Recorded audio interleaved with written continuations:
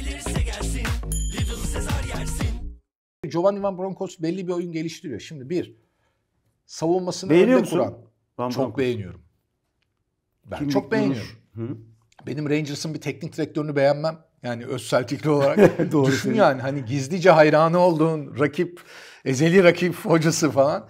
Bir kere şimdi bu herkes maçtan sonraki açıklamasına kitleniyor tamam mı? Seyirciye fırça atıyor. Öyle değil abi. Orada başka bir şey. Oyuncularını savunuyor. Jorge Jesus da Fenerbahçe'de bunu yapmıştı. Ya biz Tabii. şu anda bu oyuncularla devam edeceğiz devre arasına kadar. Yapmayın demeye getiriyor. Bunda kötü bir şey yok. Fırça atma falan yok. Hollanda kültürü bu. Biraz açık direkt, sözlülük. daha evet, direkt. açık sözlülük. Daha direkt. Ben bunu Beşiktaş'ın çok ihtiyacı olduğunu düşünüyorum. Geçen sene herkes karnından konuştuğu için Beşiktaş o hale geldi. Yazın da, yöneticiler de, teknik direktörler de, futbolcular da. Salih ile Mert Günok hariç herkes karnından konuştu. Jetson'u falan bir kenara bırakıyorum. Yerlileri söylüyorum. Burada bir kere Mert'in her gelen... saptamalarını çok değerli buldum. Hep hala Mert'in Tabii. maç sonu Tabii. takım ve oyun hakkındaki e, bakışını, açıklamalarını çok beğeniyorum. Onu söyleyeyim. Ayrıca Rafa Silva olmazsa ne olur? Bir de Mert Günok olmazsa da ne olur? Evet. Ya s- seyirci hiç güvenmiyor. Bence dünkü gollerin hiçbirinde hatalı falan değildi yediği gollerde Ersin. Ama daha önceki Ersin sezonlardan biriken oldu bir ama işte daha en son Avrupa Kupası'na katıldığımız zamandan kaynaklanan bir Ersin önyargı var. Var, var. var. Yani o ortaya çıktı. Giovanni Van Bronckhorst da bunu bilmiyor. Bilmemesi normal. Bence sen yüzde yüz haklısın. Büyük resme bakmak gerekiyor. Yok haklı olarak söylemiyorum. Yapılamaz mı bu? Çünkü zaman zaman plan yapmanız gerekir. Yok bunları Her maçı kazanacak önde gelen mantığı- kişilerinin anlatması gerekiyor. Senin anlatman Yok, ekstradan kıymetli hale geliyor. Ben söyleyince Yok niye? sen de maçlara geliyordun. Seni de biliyoruz. Hiç sakin de durmuyordun falan. Tamam da abiciğim ben kitle halinde kimseye bir şey yaptırtmıyordum. Benim zararım kendime orada da ya. Normal Tribün, tribün her şeydir esasında. Bir açıklamayı okuyabilir miyim Tabii izninle. Van Bronckhorst'un? İzninle ben de biraz daha yiyeyim. Çok güzelmiş Çok ama. güzel. Bir de da- gerçekten. Sen yedin bundan döner. Döner olduğu için çok daha sevdim. Ben daha yerel adamım. ben Biraz ya. yerel adamımdır hocam o yüzden. Ben de işte g- glokal. Lokal. Yerel, glo, global. Şöyle bir açıklaması var. Oyuncularımla ilgili şikayet edebileceğim bir durum yok. Oyundan memnun yani. Her şeyimizi verdik. İleriye de bakın bu önemli. İleriye de zaten bu şekilde gidebiliriz. Bakın bunun altını çizin. Beşiktaşlara söylüyorum. İleriye de zaten bu şekilde gidebiliriz. Diyor ki o oyun şey, bu, o günkü oyundan parçalar var. Evet sonuç istediğimiz gibi değil anlıyorum sizi. Ama ileriye gideceğimiz bölümleri de görün ki ondan sonra değerlendirin. Süre verin diyor esasında adam kısaca. Evimizde oynadığımız taraftara ihtiyaç duyuyoruz evimizde oynadığımız zaman. İlk yarı belki de bu sezon oynadığımız en iyi ilk yarıyı oynadık. Katılır mısın? Evet. İlk yarı için diyor ki en iyi ilk Evet. yarıyı oynadık diyor. İstediğimiz sonucu bazen alamıyorsunuz. Bu noktada destek önemli. Evet ben de içeriden söyleyeyim yukarı yani sağdan yukarıya doğru. Destek o kadar önemli ki zaman zaman ne olur. Maçtan sonra yapın. Ama maç içinde aman. Ancak maç içinde bazı ısıtlamalar oldu. Buna gerçekten bunu gerçekten anlayamıyorum. Bir, o bakış tabii ters geliyor biraz ona. Lütfen biri bana bu performans sonrasında bunun olmasını açıklayın. Yani memnun olmuş hakikaten takımın performansından. Ama seyirci de tabii ki bunu sonuçla beraber değerlendirecek. Teknik adam gibi bakması mümkün değil. Ben Broncos'u da anlıyorum, tribünü de anlıyorum. Bunun ikisi birleşmesi hiç zor değil yalnız söyleyeyim. Uzun süre futbolun içindeyim. Bu benim başıma hiç gelmedi. Onu anlayamadım. Özellikle de böyle bir maçtan sonra. Ajax maçına göre çok daha iyiydik. İşte burada taraftar bunu yakalaması lazım. Beşiktaş her yerde başarı yakalayacak. Taraftar öyle bakıyor. Ajax maçında iyiydik falan değerlendirme teknik adam işi. Sadece skora yansımadı. İyi oynamadığımızı düşünen varsa stadyuma gelmesin. Şimdi burası biraz sert oldu diye baktılar. Bana gelmedi sert. Niye biliyor musun? Okuduğumda bana anlattı arkadaş sert olmuş diye. Bakın iyi oynamadığımızı düşünen bu çok güzel bir şey esasında. İyi oyun odaklı bir teknik adamla çalışıyor Beşiktaş. Diyor ki iyi oynamadığımızı düşünen, iyi sonuç almadığımızı demiyor. İyi oynamadığımızı düşünen varsa stadyuma gelmesin. Gelmesin tabii ki sert. Bu çeviriden mi olmuştur onları bilemem. Onu sen bilirsin. Ee, gelmesini iddialıyken ama iyi oyunu talep etmek veya iyi oyunun talep edilmesini istemek taraftardan bence çok güzel bir teknik adam bakışı. Kendimi avutmak için söylemiyorum. Diyor ki biz iyi oynuyoruz. Bakın sonuç olmadı ama iyi oynuyoruz. Sonucu da gelin ligdeki yarışımızda değerlendirin. İyi oynuyoruz. İleriye zaten bu şekilde gidebiliriz. Bunu da parçaları birleştirirlerse bu maçtan bence olumlu şeyler çıkarabilirler. İkisinin sentezinde bence de Beşiktaş'ın bu sezon oynayacağı UEFA Avrupa Ligi maçları Beşiktaş'ın eksiklerini görüp nasıl daha güçlü hale gelebilir net dersler çıkarabileceği maçlar. İşte Mustafa Hekimoğlu uluslararası bir oyuncu olup olmayacağını Laboratuvar. görecek. Ha, bak şimdi, ha, şimdi mesela oradan gelelim. Mustafa Erhan Hekimoğlu Süper Lig ortalamasının çok üstünde genç oyuncu kategorisinde. Tabii. Ancak Fizik. Ajax gibi tarihi boyunca muhteşem genç oyuncuları sistematik olarak yetiştirmiş bir ortamda Giovanni Van Bronckhorst ona şans veriyor. Al senin yaşıtların, al senin ortamın. Maçın ilk santradan girdiği pozisyon hariç hiç o kendi yaşıtlarının taktiksel olgunluğunu gösterebildi mi? Hayır. Bir maçtır ama ya. Ama bir maç tabii. Bir maç. Tekrar oynatacak. Tekrar oynatacak. Oynatacak, tabii. Atletik büyük ihtimal buraya geldiği maçta Atletik sırf Bask bölgesinde yaşayan oyuncular oynattığı için zaten kadrosu dar ve arada çok büyük fark var. Yani mesela şöyle. Nico Williams oynamayınca Berenguer oynuyor orada. Nico Williams atletik için onun üzerine onluk oyuncuysa Berenguer altılık oyuncu. İşte o şekilde. Yani 2-3 oyuncu değişti. Mesela hafta sonu oynuyor. Asıl takımda çok iyi. Inaki kardeş işte Williams kardeşler falan filan. Sunset var. Sen bayılırsın oyuncuya. Çok iyi ve 10 numara oynayan. Çok çok iyi oyuncu gerçekten. İkinci forvet. Rafa Silva'nın e, bas Geç kulübesi. Bas kulübesi. E, drippingi de var. Neyse. Rafa'ya Ama onun yerine oynayan oyuncu hafta içi mesela Leganes maçında onun yerine başkası oynuyor. Gözü kör oluyor Atletik'in. O maçta mesela yine Mustafa Eren Hekimoğlu falan oynayacak. Bir daha şans gelecek. Süper Lig'de şans veremiyorsun Mustafa Eren Hekimoğlu. Çünkü senin dediğin gibi en kötü ama. oynadığı maçta bile Ezdirmeden yani. en kötü oynadığı maçta bile Immobile'yi 90 dakika sahada tutmak zorunda kalıyorsun Süper Lig'de. Çünkü başka bir golle anların oyuncusu olma durumu var. Tabii.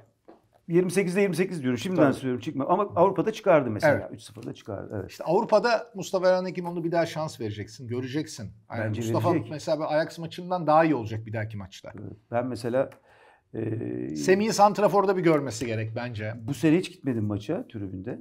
Rafa'yı seyretmeye gideceğim. E, tabii. Bir de Mustafa ile şeyin oynayacağı bir maç olursa onların Semih'in. tam canlı evet, Evet. şey görmek istiyorum ya oradan Yakından. tribünden seyretmek istiyorum. Orada yorumlarımızı yapmak istiyorum. Beni ikisi de çok heyecanlandırıyor. Ben Semih satılmaz demedim.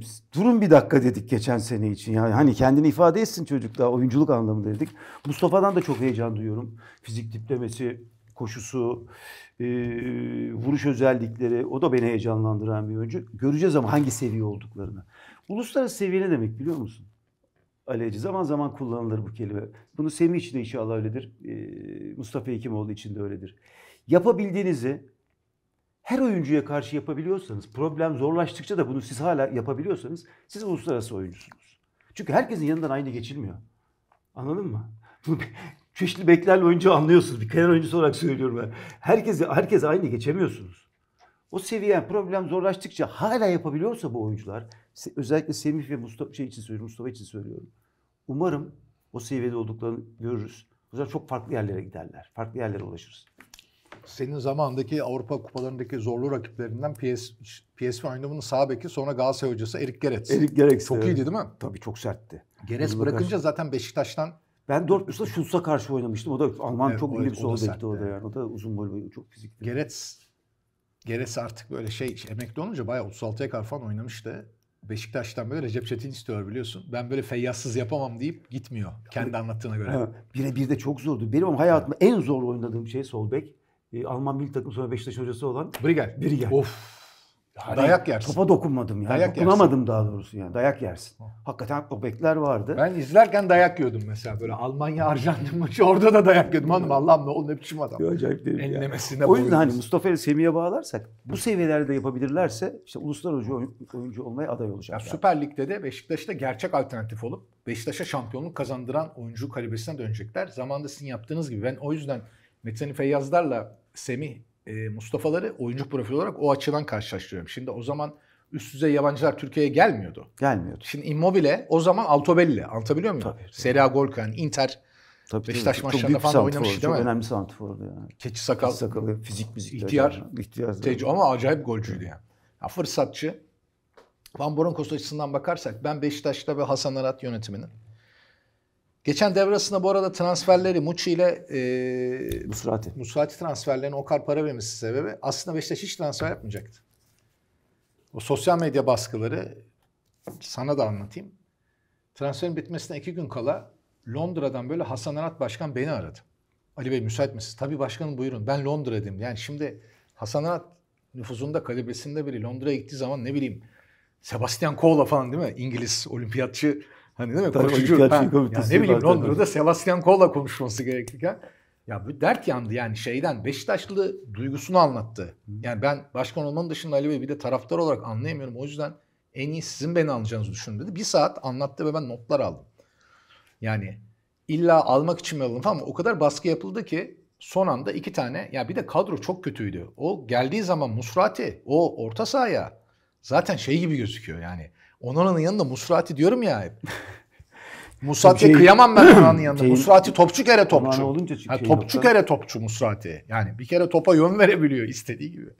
E, Muçi de geçen sezonki o Rebic Mebic'le karşılaştırınca yani yok ki adam. Hiç hiç adam yani hiç hiç hiç yok. Anlatabiliyor muyum? E, bu çocuk var yani. Hani şey yapmaya çalışıyor yapamasa da.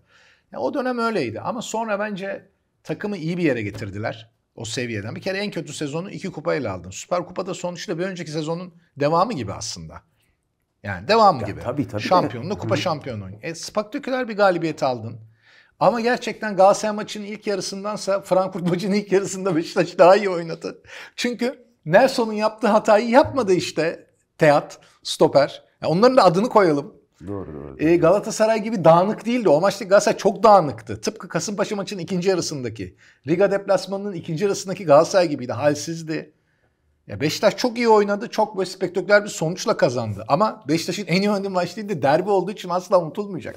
Beşiktaş'ın Galatasaray'a karşı daha iyi oynadı.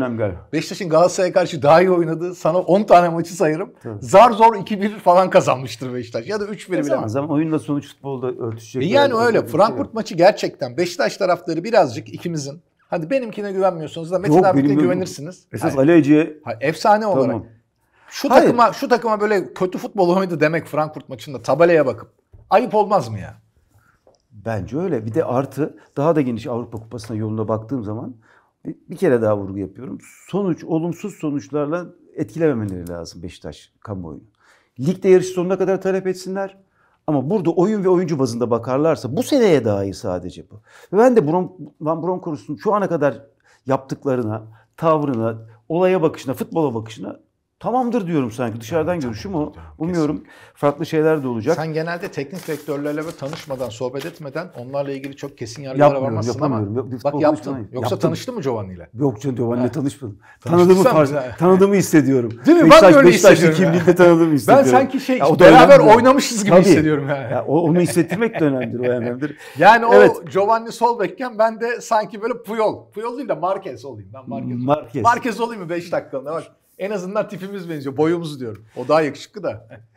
Evet? Ne Avrupa'daki yolda böyle var. haftaya e, lig maçları devam edecek. Senle diğer Avrupa maçından sonra da beraber olacağız inşallah. Ne zaman istersen Hacı. Metin abi. O zaman ligi de beraber katıp haftaya maçı tekrar değerlendireceğiz. Sana böyle gerçekten böyle çok teşekkür ediyorum. Little Caesars'a da hem doydum hem bir şeyler öğrendim. Ay, genişlettim. Ben seninle so- Beşiktaş, soh- Beşiktaş sohbetini özlemişim. Ben onu hissettim yani. Biz yıllarca çok kaliteli sohbet yaptık. Geçen seneki hakikaten eşlerimiz de dedi ya bu nedir siz hiç Böyle siz hep çok iyi anlaşırsınız. Niye kapışıyorsunuz? Farklı fikirleri Abi çok severim. kardeşi birbirine düşürecek kadar kötüydü geçen sene. Ama farklı o yüzden fik- 40 puan yedi. Farklı fikirler zenginliktir. Boş ver. Abi o kadar fikir verdik. Yine böyle fakir kaldı Yine geçen sezon ya. Görüşmek üzere.